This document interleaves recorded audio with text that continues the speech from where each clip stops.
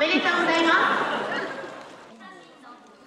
す。千葉県の鴨川シーワールドでは今年で11回目となる成人式が行われアシカの寛治君が会場に詰めかけた新成人285人の門出を得意の笑顔で祝いました。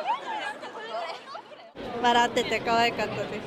す。社会に貢献できる立派な大人になりたいと思います。ここだけだと思うんであの本当に嬉しいですね、まあ、一成人としてしっかりとした大人になれるかなと思います。お世話になった人たちに感謝の気持ちを忘れない大人になりたいです。成人式でのアシカのパフォーマンスは毎年恒例になっています。新成人たちは式典後の記念撮影で寛治君に負けない笑顔を見せていました